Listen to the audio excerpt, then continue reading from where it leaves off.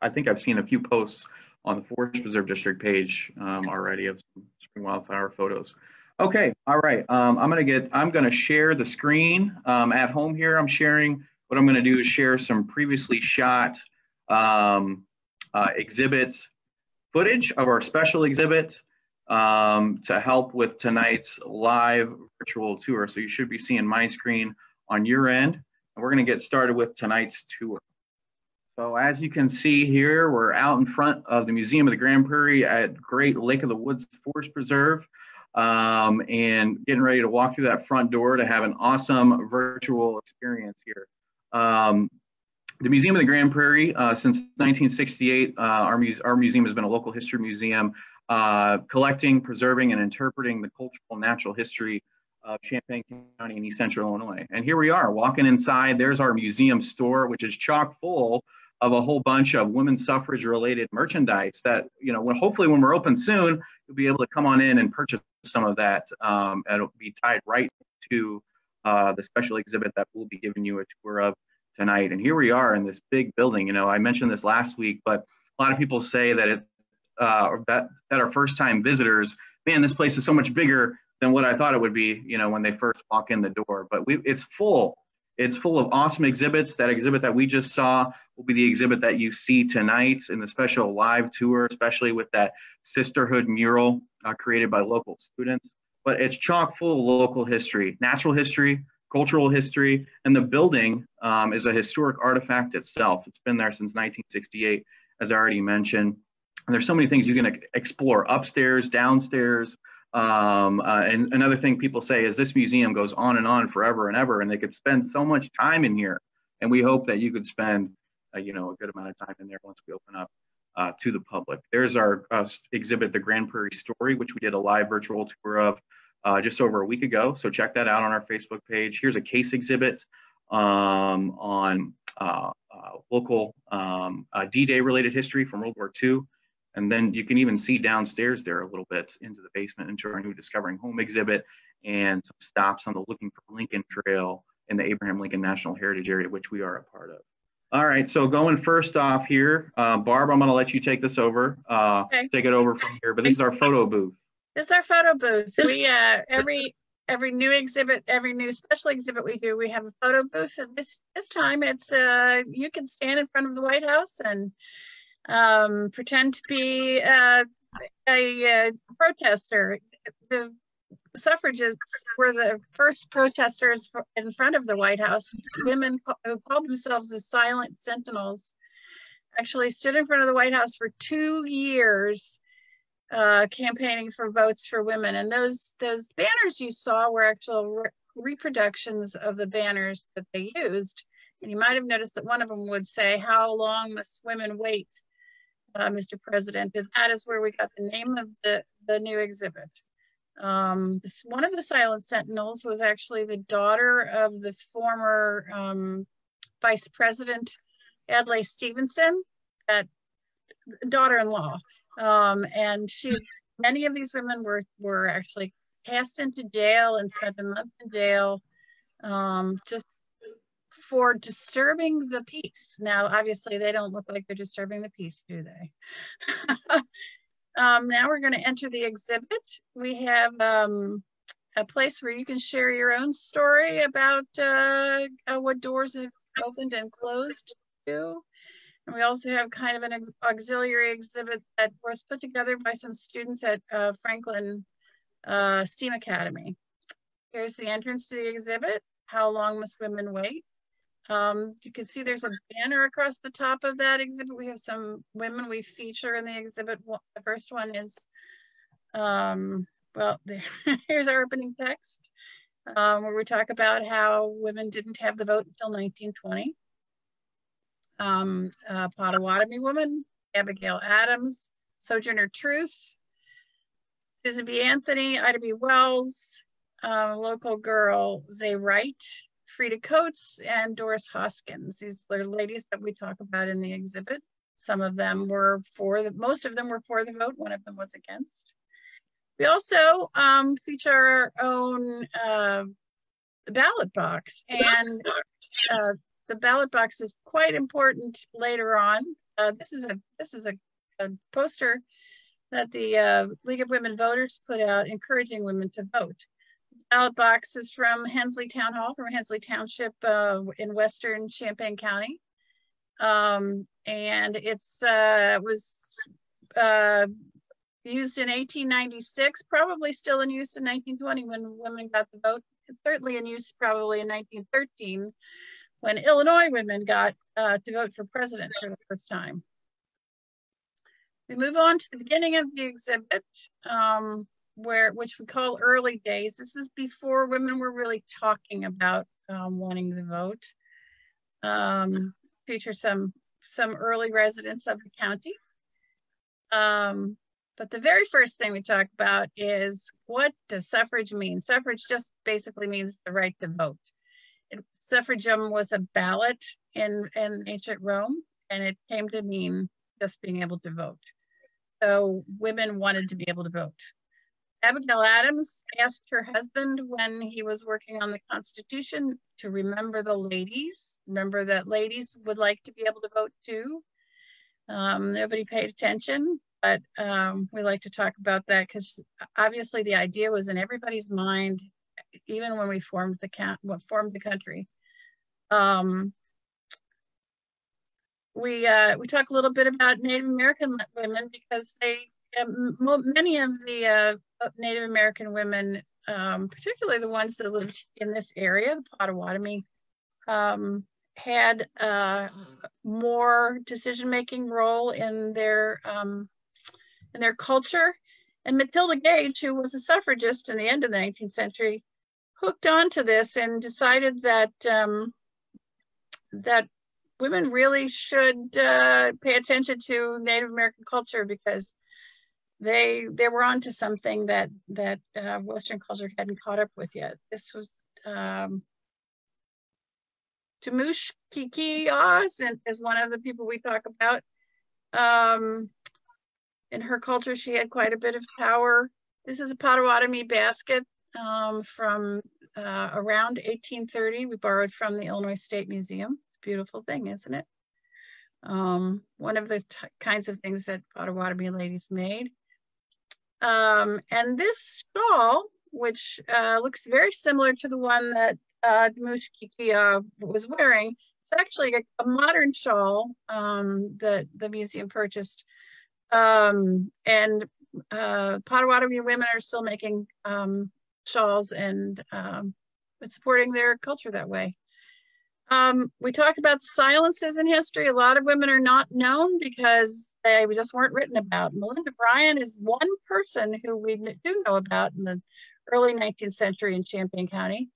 Um, and these are pieces from her home. She lived in um, in what was later called the Nine Bell Tavern. She was the first white woman to be married in Champaign County, married in 1833, just after the county um, was founded. There's a plate, a lice comb, some buttons, another plate. Um, talk a little bit about Abigail Adams. We're fortunate enough in our in our uh, collection to have uh, pieces from Abigail Adams' era. Uh, these are obviously not hers, but there's a um, lamp from that era, an inkwell, and also um, a quill pen from the colonial era. So fortunately, I mean, she wasn't local, but uh, her import, her story is important. Um, this is Myra Bradwell. Myra Bradwell was a woman who wrote the law to allow women to inherit property, was not able to be a lawyer herself until late in her life. This is the College of Law of U of I in 1907 uh, and a law book. And it's important for women to be able to inherit property, as you'll see in the next frame, because um, Narcissa Adams, 1854, died, her, her husband died. She wasn't able to inherit the property. Her son wasn't able to inherit the property. Abraham Lincoln presided as judge when some two men who were who took on the role of guardians for the boy uh, actually sued for um, I'm sorry, it's it, it sued for her to be able to give the property to her son. This is Jane Patton. We have a, the Forest Preserve has a piece of land in the northeast part of the county that belonged to the Patton family, was donated eventually to the, to the uh, Forest Preserve. Jane Patton was a, is a legend in the county. We don't know if she was ever, eh, she was, she lit, died in 1921, just after women got the vote. We don't know if she ever voted. Um, but what we do know is that um, she was a, a strong um, woman who uh, influenced a lot of people. Um, these are wildflowers that actually bloom in her in the land that we have that um, belong to Jane. And um, we know a lot about Jane's life because she wrote Remembrances of a Pioneer. She told us about um, how uh, she um, assisted in um, births and uh, and assisted in preparing people for funerals. She um, uh, was a an ace at gardening at um, and she had many sheep. She wove. Uh, she spun wool and and um, took this the took the wool to um, the weavers who were typically men um, and the most interesting thing about Jane is that these are these are baby bottles, believe it or not, and a nipple shield. Amazing, amazing life that she led. Um, she she apparently assisted at the births of 102 babies. And um, Jane's husband died in 1880, and she was just able to inherit his property, but she also inherited all of his debt. Um, but, but 1921, she had acquired 2,500 acres and made a, an amazing concern out of her family's farm. She, um, uh, we, we wanted to feature what the life of a woman was like before uh, the uh, suffrage uh, quest really got started. So that's what why we included Jane. Um, the second section is called the National Stage, and it's about how the national quest for uh, suffrage got started and um, how that impacted uh, our local history. Um, so on the national stage in 1848, Elizabeth Cady Stanton organized the first women's rights convention in Seneca Falls, New York. It was generally called uh, Seneca Falls. There's Sojourner Truth. She was a avid suffragist as well. Um, Failure is Impossible was uh, Susan B. Anthony's was an early suffragist. Um, was pretty much her her watchwords. Um, and she uh, appeared in uh, Champaign in 1870. There's a there's the uh, newspaper notice of it. Um, she started a, a, newspaper called The Revolution. She was the the lecture she gave was about women's wages in when she was here in Champaign County. She spoke in Farmer City. Well, she didn't speak in Farmer City, but a month later, um, there was a meeting in Farmer City, and uh, which was called the Revolution. Um, so obviously, the message got on from from her her appearance and it was well received, in Farmer City. Um, below there's there's a modern button which has features her her uh, face and is um, says failure is impossible. This plaque was borrowed from um, Spurlock Museum, and it talks about it's it has a quote at the bottom on her last birthday, just before she died, she gave her last the uh, contents of her small purse to um, to the suffrage cause in Oregon. Uh, this is a Stanhope viewer. It has a little picture of um, Elizabeth Cady Stanton in it, also borrowed from the Spurlock, and uh, was kind of a souvenir at women's rights conventions. That's uh, Elizabeth Cady Stanton with one of her daughters. She had many children uh, Susan B. Anthony was the um, the woman who did all the campaigning. Elizabeth Cady Stanton wrote wrote the documents. She wrote a document called the Declaration of Sentiments, which was meant to be a, um, a, a corollary to the Declaration of Independence, but for women's rights. Um, we also featured Sojourner Truth. Sojourner Truth spoke in uh, Bloomington in the 1870s. Um, she talked about uh, um, women's rights as well. Um, and uh, she actually also spoke about um, incidents of domestic violence and spoke against it. Um, and we we have a wonderful uh, recording. Um, we were allowed to uh, to have the whole recording of Sojourner Truth's Ain't I a Woman speech um, from Kerry Washington. Um, who's the, Pat, remind me who the who the provider is? Uh, people, uh, People's History of the United States. Yeah, that's it. Right. So you can listen to this if you come to see us. um, it's yeah, really interesting. Hear it that hear it that well right now. I thought we might be able to, but sorry. No, it's good. Um, interesting thing about this speech is that it's often given as a uh, in a Southern dialect, but um, Sojourner Truth probably had a Dutch accent. She was raised in the Dutch part of New York as a slave and was freed later. Frederick Douglass came to Champaign twice.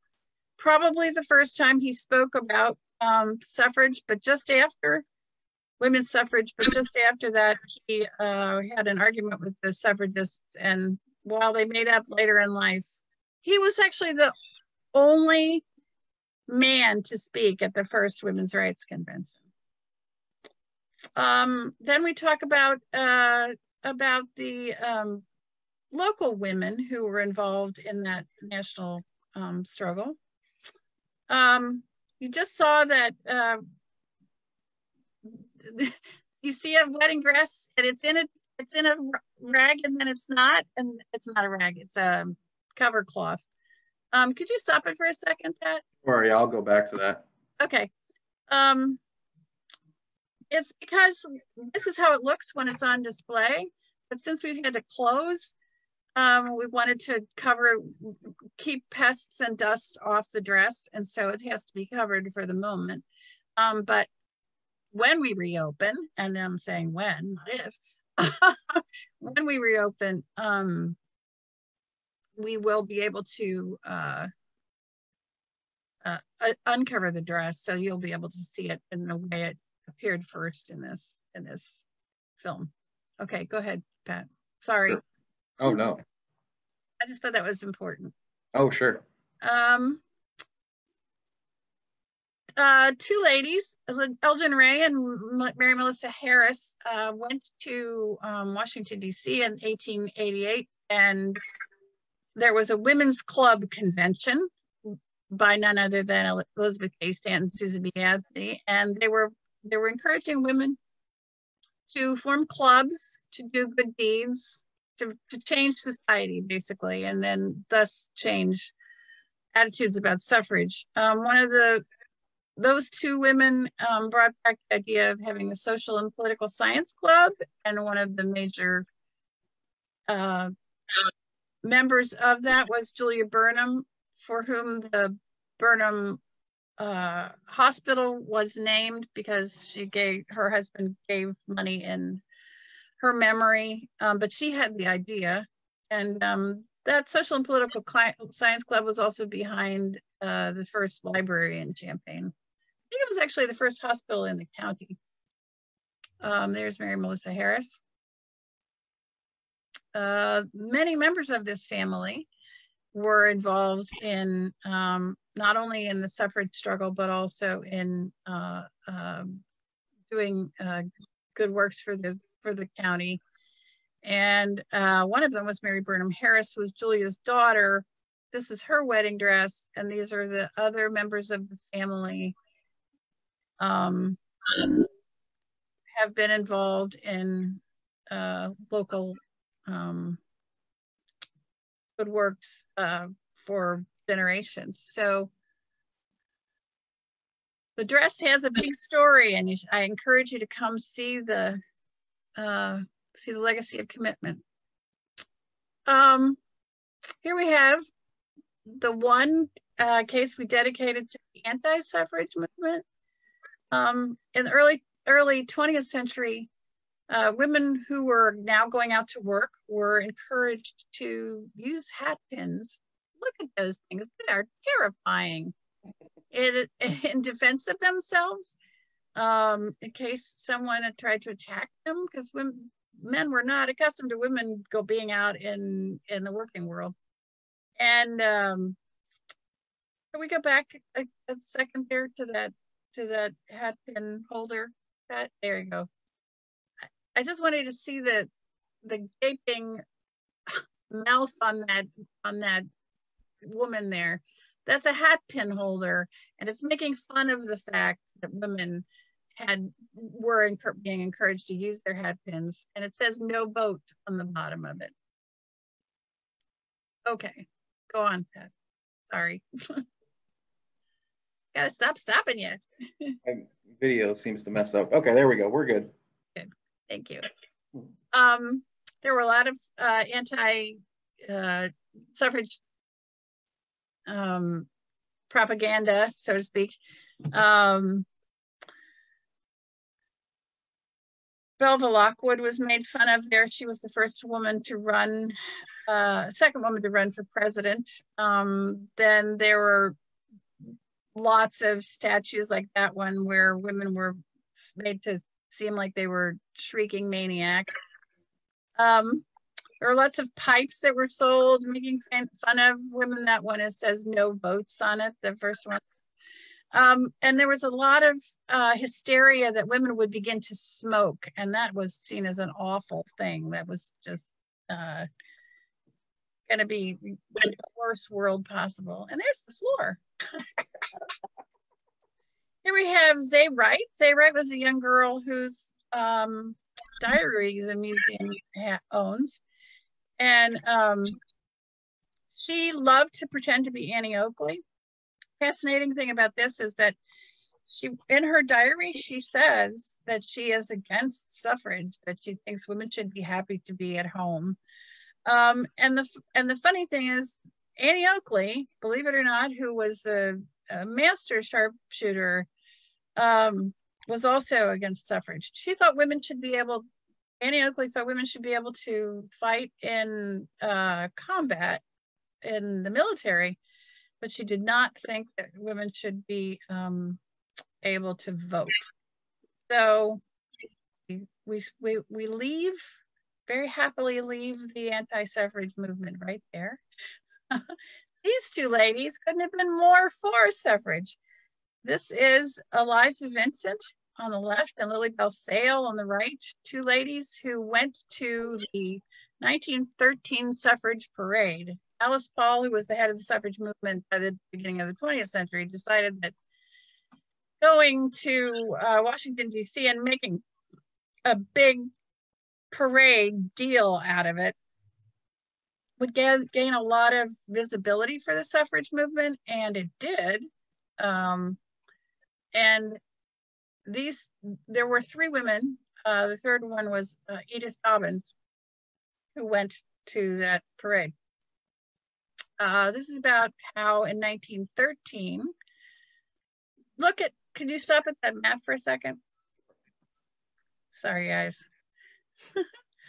um, see how uh, the, uh, the states in white are all the Western states that had passed partial or full suffrage uh, laws before the uh, national amendment.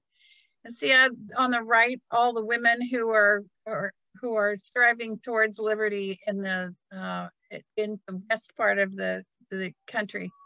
Illinois passed uh, suffrage in 1913, partial suffrage, but a lot, and um, was widely credited as the first state west of the Mississippi to pass uh, pass a suffrage bill and allow women to vote for, and they did were able to vote for president. Okay, go ahead, Pat. Sorry.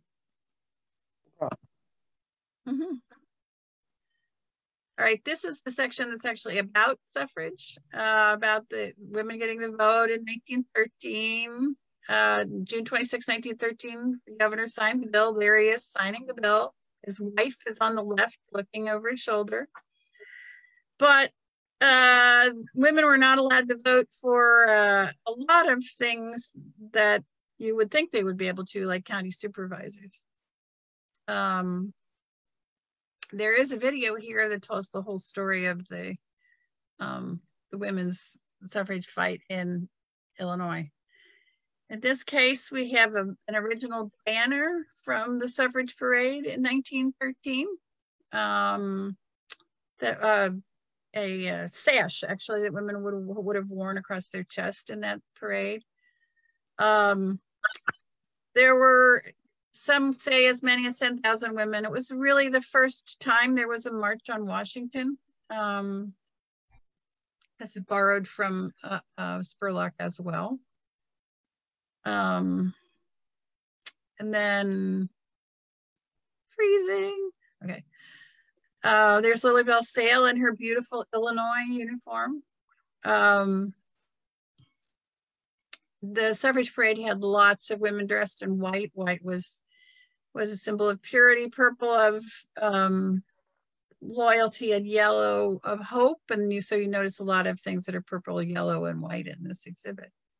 This is a medal uh, from the hunger strike in England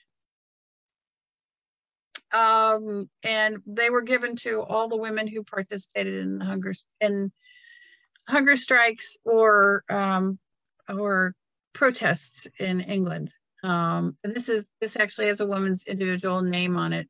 She was in a protest in uh, in which they broke windows in Whitehall, which is not the greatest idea. Um, and the difference actually between suffragette and suffragist. You notice I say mostly suffragist. Is that suffragettes are the British women and they were more um, radical than American women. And so American women did not want to be called suffragettes because that that denoted um, more violent action. Matt, did you stop it or is it frozen? I stopped it. Oh, okay, thanks.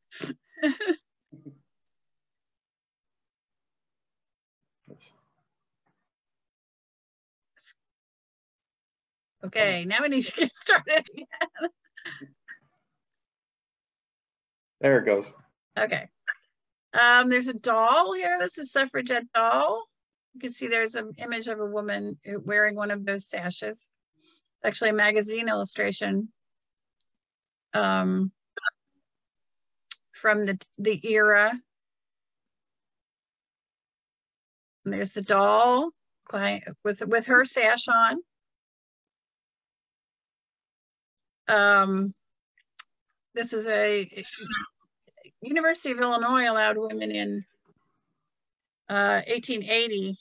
Um, this is a handbook for women to learn how to vote. And those women that were graduating there were um, one of them was a woman who wrote the book on how to how to vote. Um, we feature Catherine Cheeseborough, who is a local uh, woman who our blacksmith shop in, in the museum is was donated by her family. Um, she was a school teacher. She had to quit teaching school in order to get married.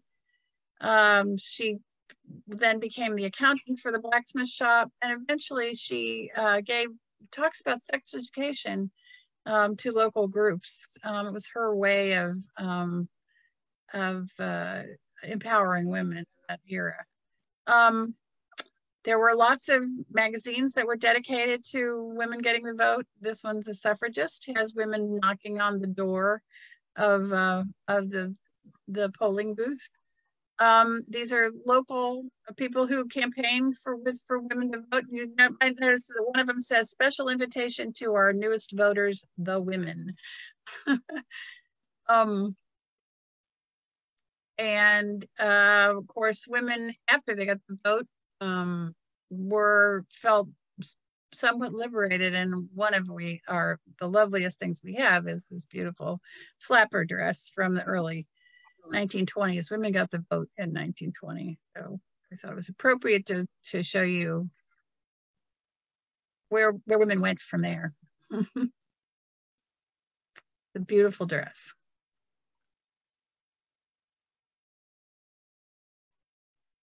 And there's some flappers dancing in with the with the Capitol building in the background, obviously um, enjoying their new freedom.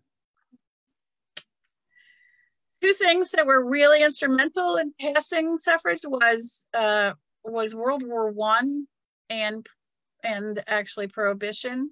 Um, and one of the most hearty suffragists of Champaign County was Mary Busey, whose son died in World War One. Um, but women fought hard for the war to be won. They they were ambulance drivers and served overseas, and they also did a lot of work at home, just like in World War II. And um, then then they then they asked for the vote and said, why can't you know why can't we vote now that we've done all this work? Um, and and there you see a woman in uniform and a woman driving in uniform. And it says, win the war, women, the motor driver. And this woman, Anna Howard Shaw, came to um, Urbana in, her, in the 1890s uh, campaigning for women, women's uh, suffrage, but she was really a uh, proponent uh, during the war period. Um, the, if we if we pan up to this corset ad, it was a, it was a sold at uh, Robeson's, um, and it says if you're if you have a, the right fitting corset, you will. Why women in the wartime insist on corsed corsets? The original. Uh, the idea was that you would we would be more efficient at your work if you had a well-fitting corset. So um, I thought that was a great uh, and then it, and it was wartime, so you had to be efficient in your work. I thought that was a great uh, commentary on uh, where the culture was at the time. Uh, and then, of course, if women were were driving in the war, they uh, and and that was a newfound freedom for women too that they could drive. They would wear a duster like this. So we thought that was a beautiful, beautiful duster. Um, so temperance and suffrage, they're they're actually the women who were uh, promoting prohibition were actually also for um, for suffrage because they wanted the right to make decisions about their own home life. Um, there's a, there was a statue in front of the Flatiron Building in Urbana of Frances Willard, who was the president for many, many years of the uh, Women's Christian Temperance Union. Um, she was a hero to many, and she wrote a book called um, The Home Protection Manual, in which she talks very much about how uh, women should be able to vote so they can make decisions about uh, about alcohol for one thing, and and protecting their families. Um, the mayor of Urbana was really on that uh, uh, had that same idea and was very much for suffrage and against liquor in his town at the time. There's a bottle capper because after prohibition was put in place, um, people had to make their alcohol at home. So, and this is actually from from Champaign. Go ahead, Pat. Sorry. No problem. Um, and then uh, faith played a big role in um, the Women's Christian Temperance Union, and also in um, many women of faith were uh, like for suffrage. The YMCA actually provided, um, which is the Young Women's Christian Association, provided the first housing at uh, the University of Illinois, and also um, got together um, athletic teams at the University of Illinois, women. It's not really a surprise. Um, in August of 1920, suffrage was finally granted to women. Um, May of, of 1990, 1919, uh, there was an attempt uh, well, the, the, um, let's just go for it. the, um, there's the 19th Amendment, the right of citizens of the United States to vote shall not be denied or abridged by the United States or any state on account of sex. There you have it. William Brown McKinley was our um, was a state representative at the time uh, from Champaign, um, or was he a senator? Ugh, I don't remember. Anyway, he voted for it. Um, suffrage was ratified in large part by Republican states. Can we go back up to that? The Champaign County, here we go. 29 Republican states and seven, seven Democratic states actually um, ratified the uh, the amendment that that allowed women to have uh, the right to vote. Um, so that's an interesting uh, breakdown to me. Go ahead. To your left, you can see that the Champaign County um, League of Women Voters um, was uh, one of the was one of the first in Illinois. Um, happened right away. There was actually an, a Twin City Equal Suffrage Association that kind of morphed into that. After when we talk about uh, women getting the vote, we talk about how for a while there wasn't a lot more activity um, because the depression happened pretty much right after that and then world war ii and the 50s was about recovering. But there were a lot of women at work including at the illinois glove company. Here we have a picture um, that was loaned to us uh, from the illinois glove company in which you see many many women working. Um, is it, is it stuck? It was it's freezing a little bit but it's okay, okay. Um, there are lots of women at the U of I at that time as well. Um, there's a, uh, there are a couple of instances of women working during the war, including Irene Palucci, who worked at uh, in Peoria for Caterpillar um, and had to sign her name with her initials in order for her work to be approved. Um, that's her comptometer. And there's some gloves to the right uh, that were made at the Illinois glove factory. Men did the cutting, women did the sewing. Okay, now we make a giant leap. Several decades later, the women's movement is revived when uh, the Equal Rights Amendment, which uh, grants rights beyond beyond voting, to women happens during the late 60s and up through the 80s. Um, there's a national ERA march for ratify, ratification in Illinois. We talk here about um, how that gets started. Early in the 60s, Betty Friedan, who is funnily enough from Peoria, um, writes a book called The Feminine Mystique and really gets women um, fired up about um, having the equal rights vote, not to vote, to um, to all the other things that that women would want rights to, right?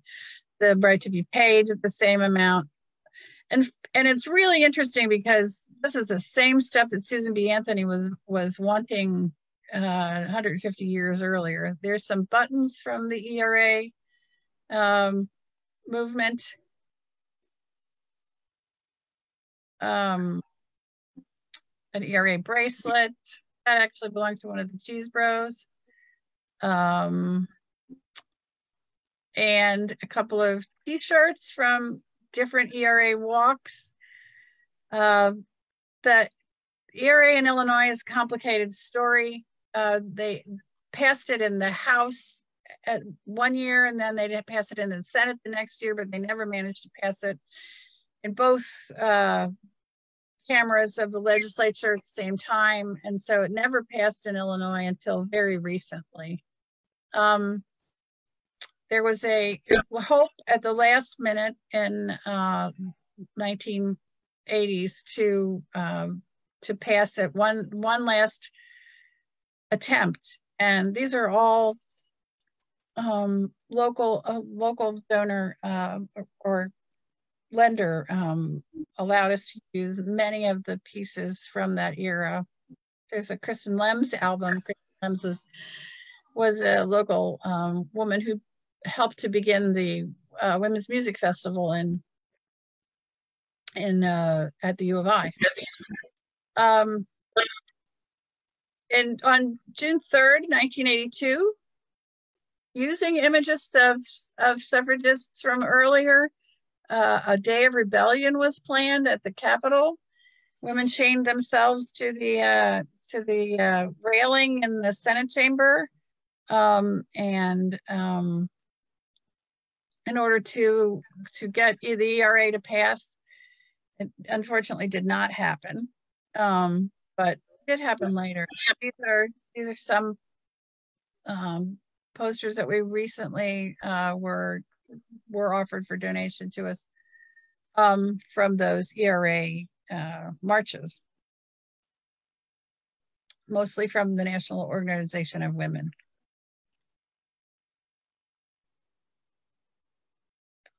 Um, and then we talk a little bit about uh, how women uh, have become more and more active since getting the right to vote in politics. Um, have some local, the two mayors of Urbana and Champaign, um, but also we talk about um, Carol Moseley Braun, who was the first African American woman in the Senate from uh, Northern Illinois. We talk about Title IX, which happened as a direct result of the women's of the women's liberation uh, movement in the 80s and 90s before before Title IX, girls were pretty much resigned to being cheerleaders, but now this is the current Franklin jersey for basketball.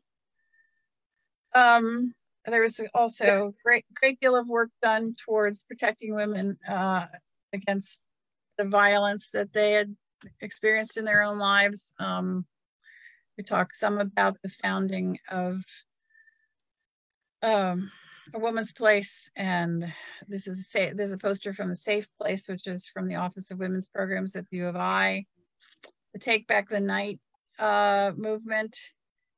And um, seems to me that you uh, talk a little we talk a little bit about helen satterthwaite who was in the legislature during the 70s and was worked hard for the era to pass. And we just heard about helen satterthwaite in the news because she she uh, left her left Clark Lindsey to um, to vote and was quarantined afterwards.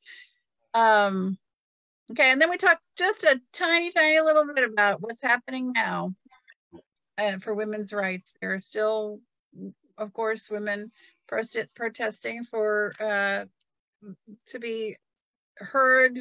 The Me Too movement, of course, is part of this. And this is a photograph from the local um, Women's March on in March 2017. Um,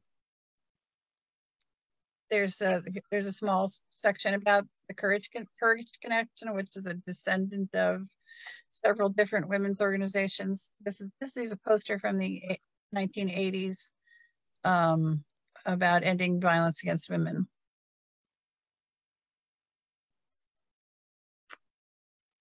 And there's a actually um, if one would experience violence uh, there's a there's a route to get help there.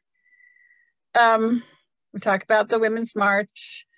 We also talk a, a little bit about um, uh, doris hoskins for whom we have uh, an, uh, her archive of african american uh, information we talk about how the um, women's movement now is uh, attempting to be more intersectional, meaning all people, all women. Um, and then we also talk about um, how there are oh, there was this is a video we put together about because we have so much information about the women's movement in the 80s that we put together uh, a video about all the different um, groups that worked towards passing the ERA. And we're back to Doris again.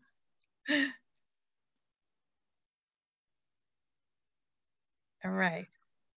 And in the case, we have some things from that local march recently.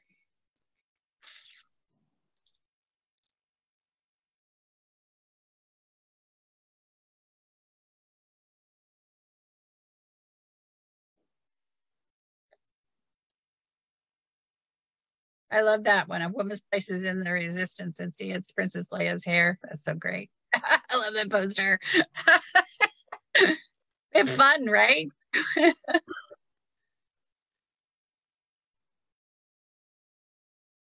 so then outside of the exhibit, we have um, two things. We have a, a response board for, um, there's some buttons from Hillary Clinton's campaign of course, she was the first woman to run it for president from a major political party. And there you have it, my friends. You have to come back and see it when it's in real life. so uh, one of our, our um, staff members, Katie Snyder, worked with um, an artist, Mandy Danowitz, and the students at uh, the Franklin STEAM Academy to put together a small exhibit called the Sisterhood exhibit, which of course is a as a companion to the to the larger suffrage exhibit.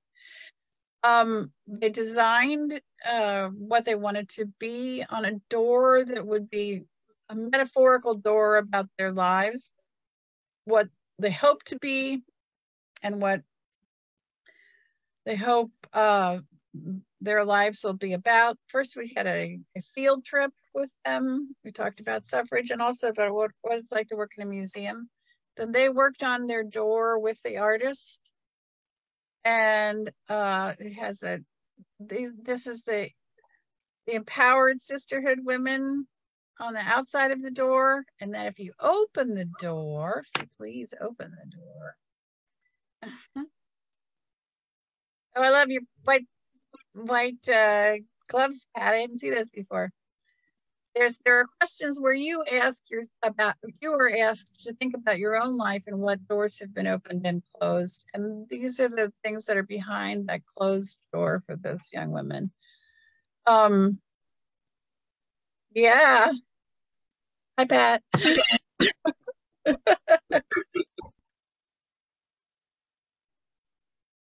Is that you? Have you struggled? Can you imagine what it's like to be a black or brown girl? Would you feel different if you were another color? Do you like who you are? How do you feel in your own skin? Do you matter? Who are you? Well, that one's profound. it's really a lovely piece of work.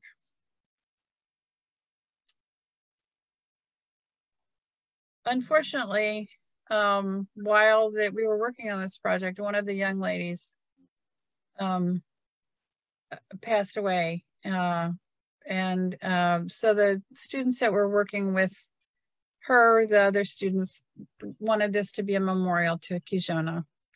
But there she is. And we want to thank all of the, the hard work of all of the educators who worked with these young women, as well as the artist. Now, Pat, I'll let you do this one. And we just have, just real quick, there's a exhibit speaker series happening this year where each month, starting at the end of this month with our virtual history on tap, that'll, that's a, that'll happen on our Facebook page. We're gonna put on events and, uh, and programs tied to the exhibit. And thankfully, we're able to do that with all those sponsors that were just featured uh, there at the bottom. So stay tuned for those events and I hope that they can take place this summer. Yeah, I do too. I really do. If not, we'll figure out some sort of virtual format or an alternative plan or something. So, so this is a this is a, a response board for you. When you come, we want you to tell us what doors have been opened or closed, open for you or closed to you. Um, and and we've had some really great responses already. Um, Pat has made a question mark. Um, this woman wanted to be on Little League and also wasn't wasn't allowed to, and she was also not allowed to be an altar boy. But then right below that, woman writes that um, she was um,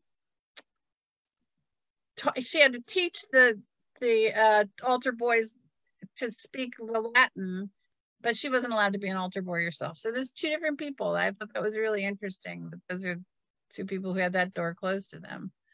Um, open doors, where my mom was a television personality. And then, um, is it stuck? Almost. It's moving a little slow, but Okay. it'll. Come on. There it goes. And then my mother got a master's degree in chemistry in 1946. And my daughter became a doctor. My son became a teacher, smashing stereotypes. I love this. And then this person said, How many things was the door closed to him for him? And and uh, that woman was, or I'm assuming a woman was devoted from chair because she was because there were childcare arrangements. So you can see people um, have uh, have lots of stories to tell about um, how their gender has uh, has influenced their lives. Good. So there we are. We saw it all, man. That was it. Yeah, that was, Yeah. uh, was good. It's a, a lot of history packed into, you know, one exhibit there. So, Oh, and I have like 90 times more to tell you. oh, well, that's why people will have to come and see That's for right. themselves, you That's know? right. That's right. once we open up here soon, Yeah. hopefully. So, um, well, um, Barb, you got anything else to say? No, I just want to thank everybody who watched, everybody who who put up with uh, our uh, our connection speed and Yeah, And- we and got a few yeah. snafus. Was it. we'd love to love to hear what you thought and um and we would love to see you here again. Pat, you have another one of these coming up, right? Yeah, another I'm- one coming up? yeah. I I don't have a date set quite yet, but I'm hoping to okay. do um, either a virtual tour of uh, the the next one will either be our uh, uh, interactive exhibit downstairs in our basement, uh, discovering home, um, or I'm looking to do um, uh, virtual tour of the blacksmith exhibit. You know, school the schoolhouse. You know, some notable uh, points of interest on the museum campus, and then also look to do some virtual things with uh, the covered bridge at Lake of the Woods Forest Preserve, which is pretty historic, as well as a high tower at Lake of the Woods Forest Oh, Preserve. what a great idea. That's great. And then, yeah, and then hope to do some other, you know, historical points of interest, whether they're at Forest Preserve District property um, or close to it, you know, maybe even something about Hazen Bridge or, you know, other points of interest uh, within the county, some local history. That's great. That's yeah. great. Well, Oh. look forward to it. Yep, I'll do one in, uh, I'll do one next week. Um, but uh, yeah, thanks to everybody uh, for watching. Uh, we had some people comment uh, where they were from. You know, feel free to keep those comments going. Uh, let us know what you thought. If you have any other questions, we got people watching in uh, Gibson City, uh, uh, Amelia, hello from Japan, heart. Um, uh, I don't know who that could be. Um, Mahomet, Seymour, uh, Amy Olschlager, St. Charles, Missouri, as well too. who she could be related to. hey, but, uh, but yeah, but thanks everybody for watching. Um, uh, and again, you know, come out and see this exhibit in person because as Barb said, there's so much that you could see, um, so much that you could learn from, so much to do at the museum, as well as you know at Lake of Woods Forest Preserve. So, I wanted to I wanted to say that one of our comments is from Laura Keller, who was was a, somebody who loaned a lot of the 1980s material to us. So thank you so much, Laura, for watching and also for for the loan. We really appreciate it. yeah, thanks, Laura. Thanks for It's watching. all about community, man. So thank you guys, everybody who's helped us out. All right. Well, um, until next time, we'll see you. Thanks. Bye. All right, I'm gonna end this live stream.